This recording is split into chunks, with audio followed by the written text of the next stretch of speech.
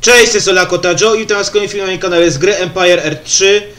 W dzisiejszym odcinku kontynuujemy sobie naszą podróż przez wieki w kolejnej epoce, która się nazywa Nowożytność. Czyli to już są czasy takie bardziej współczesne, tak XX wiek, jedna wojna światowa, druga wojna światowa. Tutaj mamy już tak, właśnie taką pierwszą jednostkę karabinierów, która to wyparła właśnie muszkieterów z poprzedniej epoki. Są uzbrojeni właśnie taki karabin jakby czterotaktowy. Są silni przeciwko antykawalerzystom, jednostka, jednostkom przeciwczołgowym, ale są słabi przeciwko samej kawalerii artylerii polowej. A jeżeli chodzi o resztę jednostek, to mamy dalej te same co były w poprzedniej epoce, czyli mamy tutaj właśnie dalej gradonów, e, dragonów. No tak szczerze mówiąc, podczas pierwszej wojny światowej, tak już mówiłem rok temu, kiedy nagrywaliśmy Empire R2, o to, że kawaleria jeszcze tam miała swoje ostatnie podrygi podczas pierwszej wojny światowej. Podczas drugiej wojny światowej już tylko się na niej przemieszczano bardziej niż walczono. Tutaj widzę, że atakujemy magazyn. Tutaj warto byłoby wesprzeć naszego sojusznika i tutaj będziemy ostatnie te właśnie terytorium zajmować. I zwróćmy uwagę na zupełnie nową rzecz, jaka została tutaj dodana z tą epoką, mianowicie czołgą. Mamy tutaj taki czołg ogniowy, tego zaraz wyślemy tutaj na front i możemy tutaj jeszcze sobie stworzyć kolejny czołg, y, który się nazywa czołg Mark IV. Tego sobie opracujmy tutaj. Tutaj ma jeszcze też dużo, szczerze mówiąc, y, jednostek z poprzedniej epoki. Tak jak mówię, mamy tu jeszcze kawalerię, to te kawalerię sobie jeszcze użyjemy do walki tutaj. Tak jak mówię, miała one, ona swoje ostatnie podrygi w poprzedniej, y, już tak na początku pierwszej wojny światowej to już były ostatnie jej podrygi właśnie. Tak weźmiemy sobie tego naszego wroga tutaj z dwóch stron właśnie. Proszę bardzo, tutaj jeszcze mu wjedziemy jazdą. Tutaj tych łuczników wystrzela. A ci niech zaatakują tutaj ten budynek główny. I tutaj widziałem, tak, to jest zupełnie nowa jednostka, słuchajcie. Mianowicie tutaj mamy te haubice. To je chyba się szkoli bodajże w... Właśnie, w czym? W fabryce mamy czołgi, tak? Gdzie tu jest jakiś budowniczy? Nie wiem teraz, nie, wi nie widzę żadnego budowniczego tutaj nigdzie. Udało się tam nam rozwalić właśnie budynek wr główny wroga, to już się zaraz nam podyla. Zaraz wybudujemy sobie... Zaraz sobie wybudujemy tutaj na tym miejscu nasz budynek główny i przejmiemy te miejsce, kurde. Fabryka i warsztat mamy. To jest co? To jest fabryka, to w fabryce mamy czołgi. A w warsztacie... Warsztacie będą właśnie te haubice. To czyli to są... Mamy tutaj właśnie nową jednostkę haubic. To jest to artyleria oblężnica, trzeba dobra przeciwko budynkom, słaba przeciwko czołgom. I to ma jakieś technologie. Opracuj gaz, gaz musztardowy. Wystrzeliwuje wybuchający pocisk, który zadaje obrażenia w czasie i spowalnia piechotę i kawalerię na danym terenie. To sobie to opracujemy. Opracuj wzmocnioną konstrukcję, zwiększa wytrzymałość artylerii oblężniczej. To już było w poprzednich epokach, chyba w średniowieczu, a tego nie opracowałem po prostu. I kolejna i kolejna rzecz tutaj zupełnie nowa to jest nic innego właśnie jak lotnictwo, więc wybudujemy sobie bazę lotniczą.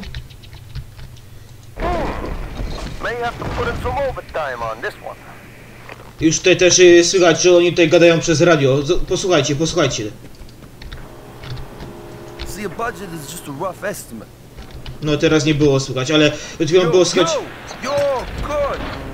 No teraz trochę było słychać, że nie przez radio gadają. Dobra. Tutaj mamy tak, kolejne tutaj mamy jeszcze do opracowania. Opracuj bombowiec Behemoth. Tu ogólnie mamy lotnictwo, to możemy tutaj... Trochę jest to inaczej to działa jak w poprzednich odsłonach właśnie Empire Erta.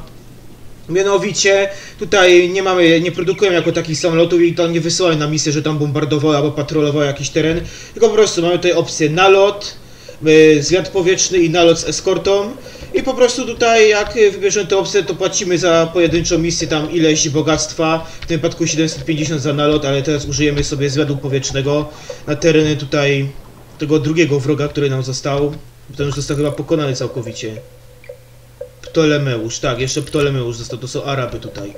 To wyślemy tutaj właśnie zwiat powietrzny w to miejsce. Tak to właśnie działa, że po prostu samolot wylatuje i leci tutaj w to miejsce wskazane i tam później właśnie odsłania nam całą mapę.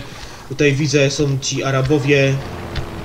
I on po prostu tutaj przez jakiś czas będzie latać. Jeżeli byłoby to bombardowanie, to by bombardował na przykład tutaj te miasto, to zrobimy sobie tutaj właśnie- taki nalot, dajmy na to, nie wiem, na te fortece, o, tutaj właśnie wyleciały bombowce, czy jeden bombowiec wylatuje zawsze, o, i proszę, zaraz rzuci tutaj bombę, bum. Jedna poszła, tak przez jakiś czas on tutaj będzie latał i te bomby właśnie tutaj e, zrzucał na budynek, który żeśmy mu wyznaczyli i nie mamy za bardzo nad tym samolotem tutaj kontroli. Ale tutaj widać, ewentualnie widać, że, że to jest właśnie samolot taki z pierwszej wojny światowej bardziej, więc to jest taka epoka bardziej rzutująca w pierwszą wojnę światową i ona się nazywa nie, nie inaczej jak nowożytność. Hmm. Moim zdaniem trochę głupia ta nazwa. Ze względu na to, słuchajcie, że jednak nowożytność to są czasy, które były od razu, słuchajcie, po średniowieczu, a więc renesans, barok, później oświecenie i, i tak dalej. To było nowożytność jako taka. Starożytność to były czasy, wiadomo, była epoka brązu, żelaza, y, pierwsze cywilizacje takie naprawdę zaawansowane powstawały, to jest starożytność. Potem było średniowiecze, zwłaszcza w Europie to to był okres y, w którym upadło, upadła nauka, tam bardziej te Boga, tak bardziej religia, teologia była na pierwszym miejscu, było rycerstwo i tak dalej. I później zaś była nowożytność, czyli te takie odrodzenie, czasy, w których znowu wróciła nauka, tak zwany wiek rozumu. Więc raczej czasów pierwsza wojna światowa, druga wojna światowa, współczesność bym tego nie nazwał nowożytnością. Powinna się nazywać współczesność, epoka współczesna. Dobra, kolejna sprawa jeszcze związana z tą grą jest taka, że my, my tutaj właśnie pokonujemy po, po kolei tych wrogów. Tutaj co epokę staramy się jedno terytorium zdobyć, ale ja widzę, że tutaj ten ostatni przeciwnik jest taki, że on w ogóle nie atakuje. Ta cywilizacja bliskowschodnia jakoś jest taka bardzo niemrawa, oni nie za bardzo umieją tutaj walczyć. Weźmiemy sobie, zrobimy sobie sojusz z Kambodżanami, tutaj wybudujemy właśnie te pomniki zachodniej cywilizacji. Tak właśnie powiem, że tak tutaj gram trochę tak no słabo ze względu właśnie na to, że ci przeciwnicy też są słabi, a chcę te epoki jednak tutaj pokazać, więc gdybym chciał, to bym już w pierwszym odcinku podbił wszystkich wrogów tutaj, zrobił taki jeden wielki odcinek i przeszedł, przeszedł przez, wszystkie, przez wszystkie epoki, ale postanowiłem, że będę przechodził przez wszystkie epoki i tam pokazywał właśnie jak się tutaj zmieniają jednostki i co to jest w tych epokach. Have you read my book, An Army of One? Więc raczej no ostatnim odcinku to już będzie przyszłość, to już będzie ko kolejny i ostatni zarazem odcinek. To będziemy walczyli właśnie tutaj z Ptolemeuszem, czyli z cywilizacją bliskowschodnią, to już będzie w następnym odcinku. I tutaj jeszcze zrzućmy sobie okiem właśnie na ten warsztat. To jest ostatnia rzecz, którą muszę pokazać. Pokazałem wam czołgi, pokazałem wam samoloty, to jeszcze to tutaj.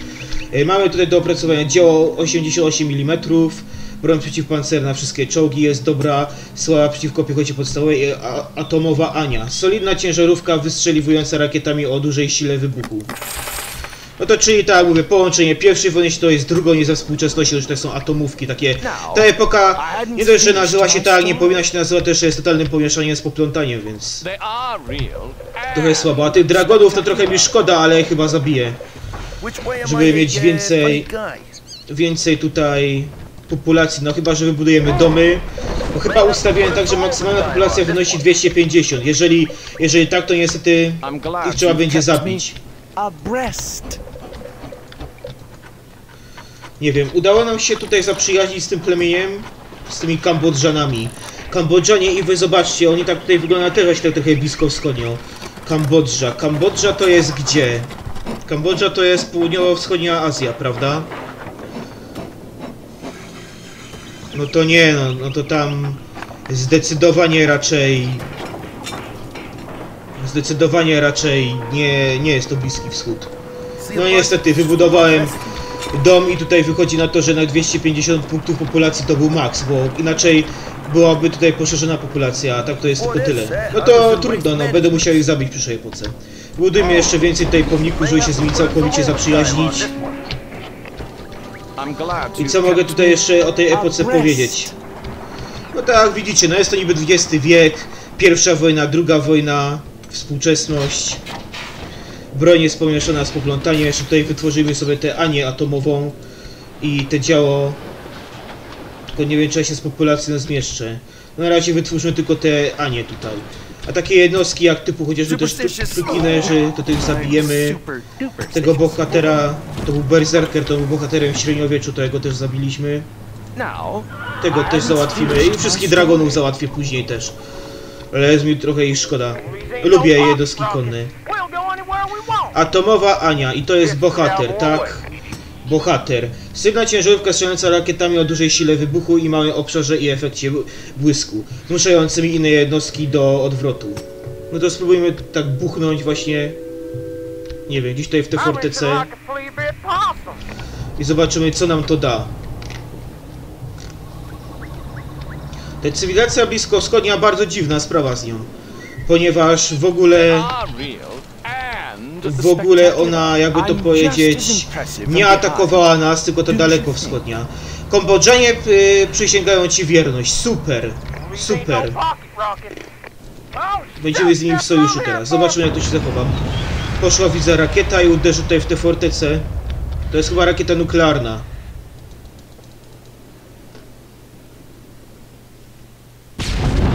Tak. Bum. Poszło. Jesteś atakowany. Ale to chyba dlatego, słuchajcie, że tutaj ten nasz y, pojazd też zahaczył właśnie tę strefę skażenia, to nie bliżej nie podjeżdżam. No dobra, byłoby to chyba na tyle, myślę, też w tym odcinku. Pokazałem wam, jak tutaj ta epoka wygląda. Kolejna epoka to będzie przyszłość. Tak samo jak w poprzednich odsłonach się kończy teraz nam właśnie historia, która jest jak zwykle w tych grach niestety bywa pomieszana z poplątaniem. Zwłaszcza ta epoka. To już tam będzie, będzie totalny science fiction, tam będą same takie mechy, różne herce, tak samo jak było w poprzednich odsłonach. Się kończy historia, zaczyna się science fiction, bo się tam pojawiają, tak jak mówię, te herce, różne takie zaawansowane technologie. Więc tak to mniej więcej też będzie tutaj wyglądało. A ciekawa jest tutaj też sprawa taka, że e, że te właśnie takie herce i tak dalej to są jednostki typowe w przyszłości dla cywilizacji zachodniej. Dla cywilizacji dalekowschodniej typowe jednostki to właśnie będą, to są właśnie mutanty, tam będą takie, takie zwierzęta zmutowane właśnie. Kiedyś nagram taki oddzielny odcinek, jak będziemy grali właśnie cywilizacją dalekowschodnią w przyszłości, to będziecie widzieli jak to wygląda mniej więcej. Ale najpierw skończymy sobie właśnie tutaj overtime te, te serie. Także co, myślę, że to już jest wszystko w tym odcinku. Pokazałem wam wszystko co najważniejsze. Jeżeli ci się odcinek e, podobał, to strzel łapkę w górę i, zas i zasubskrybuj mój kanał, bo będzie tego więcej. Jeszcze raz dziękuję wszystkim za uwagę. Trzymajcie się, cześć.